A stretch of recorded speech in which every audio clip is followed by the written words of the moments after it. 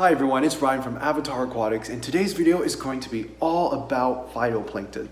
We're going to start by talking about some of the species available and what they're used for, then we're going to move into how to culture them at home, and then lastly, I'm going to be telling you some of the common problems that you can run into while you're culturing them that can result in a crash.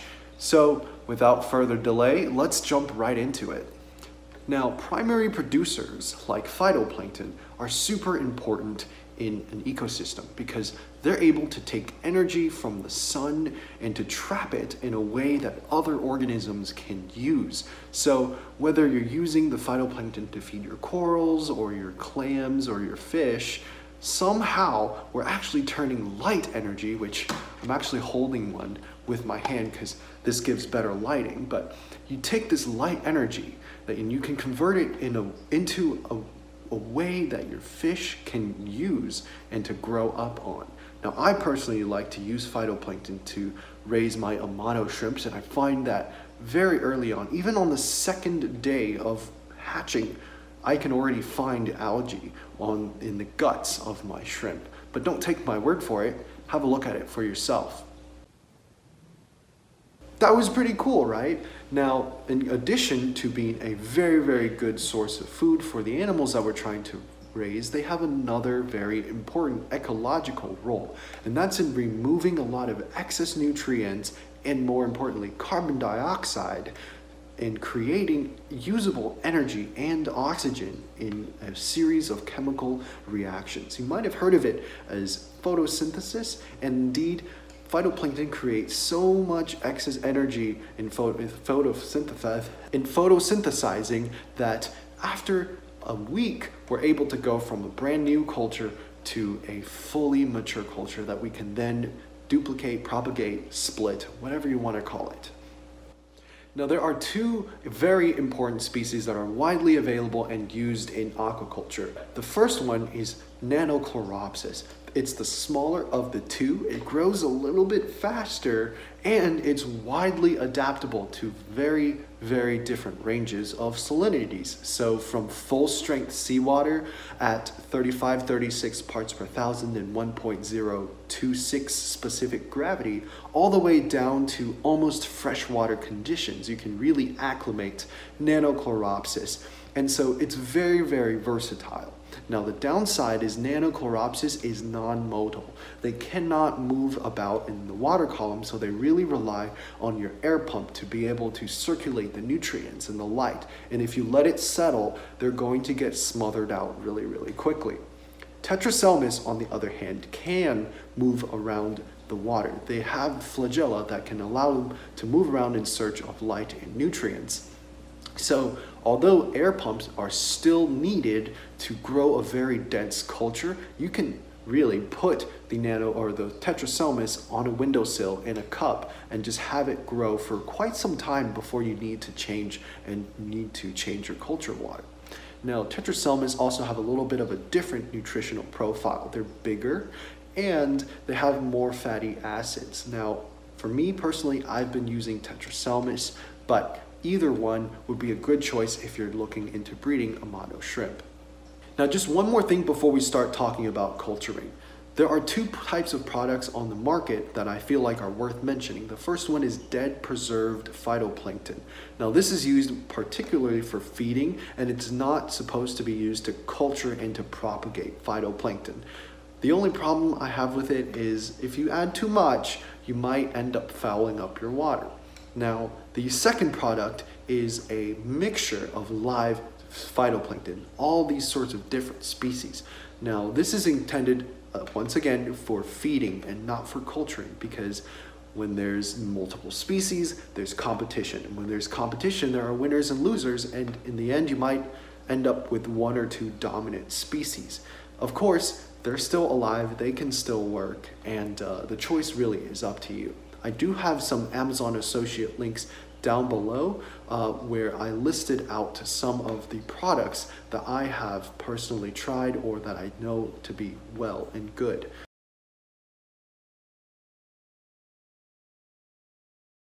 Now, over here we have everything that we need to grow our phytoplankton or to split our cultures except for the air pump, which is not shown.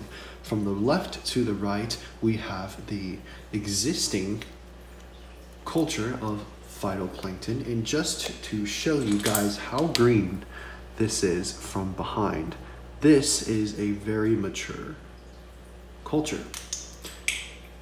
I have another culture that you guys see here. It's much lighter in, in color, but that's because it's been in the refrigerator and the cells are a little less lively, a little bit more dormant. So in order to get all the darker parts of this culture in the water column, all I gotta do is make sure the cap is on, invert a couple times, and we'll see that this culture is as bright or as dark as the one on the left.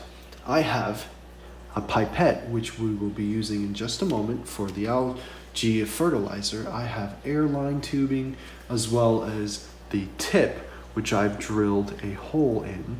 Now this is very, very important. You drill this one hole, but I also drills two smaller holes so that the air can escape and there's not pressure building up in the water bottle as the airline is running.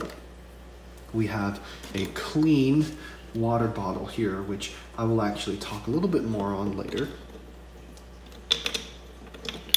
And we have hydroalgal fertilizer. This is basically F2, Guillard's F2 formula, which includes some vitamins inside and if you follow the link down below, I actually have uh, this product here and it comes in as a kit. I have alcohol. You can also substitute bleach in, just make sure you wash really well. And the alcohol's purpose is to sterilize this bottle.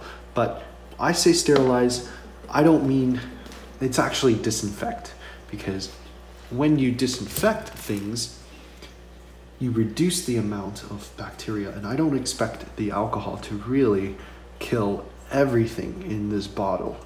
It's not designed to do that and it shouldn't. We don't need our bottle to be 100% disinfected. We just need it to be clean enough that our algae will be fine. I have a refractometer. This refractometer is calibrated and uh, ready to go just so I can tell what uh, the salinity is in this next bottle here. And lastly, I have a bottle of freshly mixed salt water that is clean and at 24 parts per thousand salinity or 1.018 specific gravity. So let's get started. We're gonna go first by moving the cap and dumping in some of the alcohol.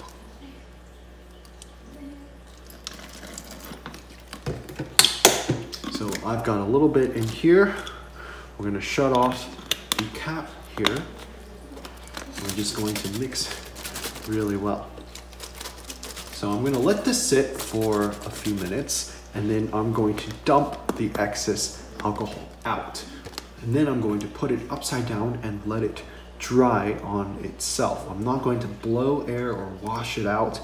I'm just going to let it dry. It might take a few minutes to a few hours. So what I've done now is I have an already dried or sterilized bottle for you. Disinfected. I keep saying sterilized, it's disinfected.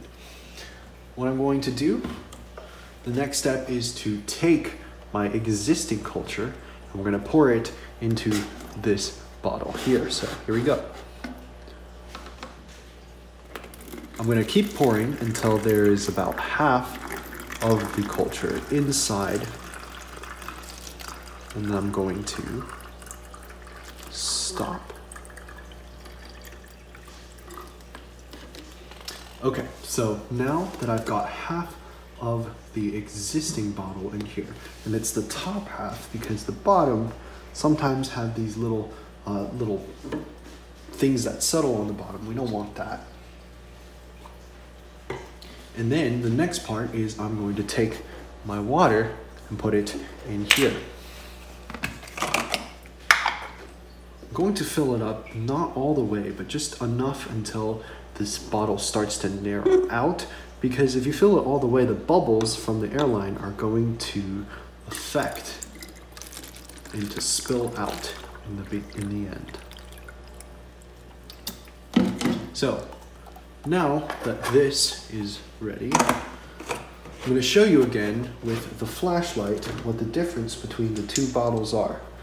So we have number one, this is the mature culture. We can barely see through it, right? This is the non-mature culture and we can very easily see.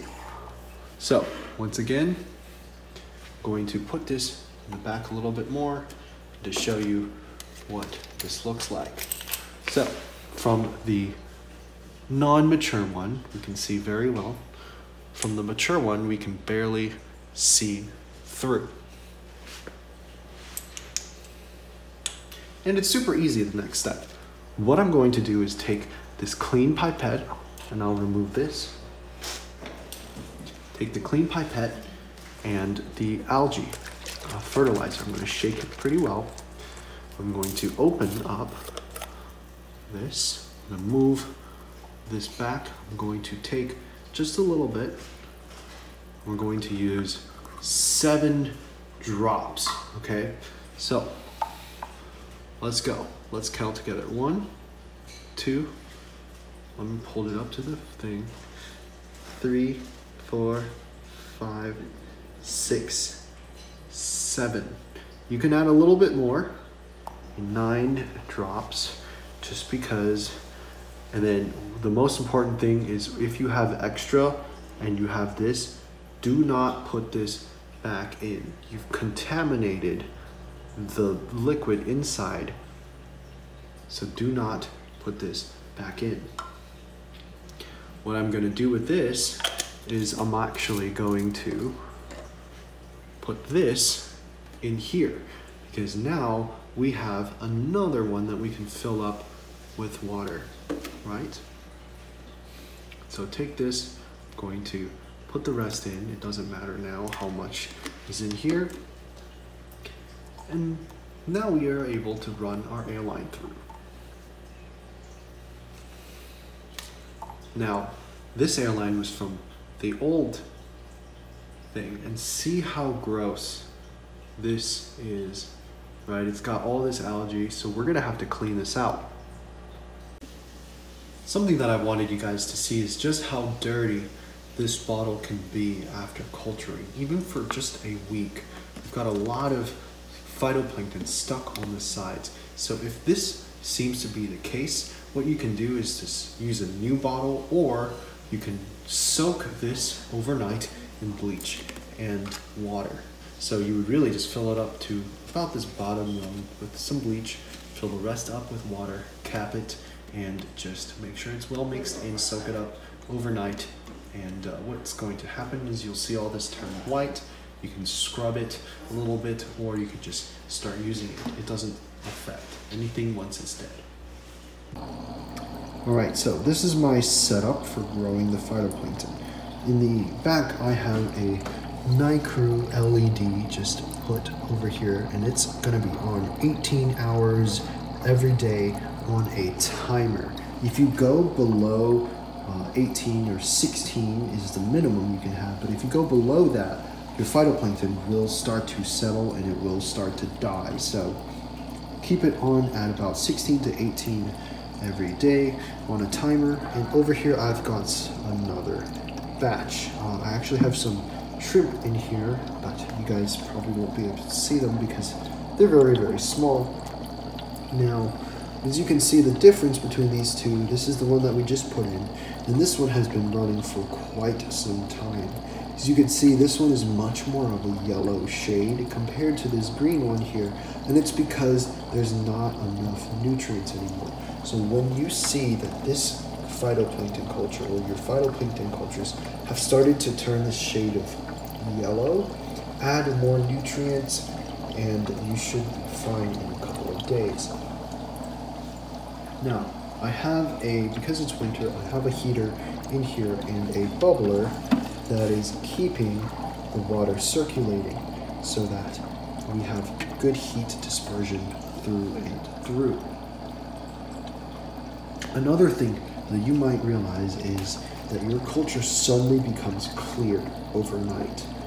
That's because your cells went dormant and you need more light or nutrients. If it's clear overnight, you need more light and nutrients. You can leave it running for another few days and you'll be fine. Now, if it's clear but also, but, but sorry, if it's opaque, then that means that your culture has crashed, there's a bacterial bloom, and you really need to restart your culture. So I hope that this has helped you and that this video has been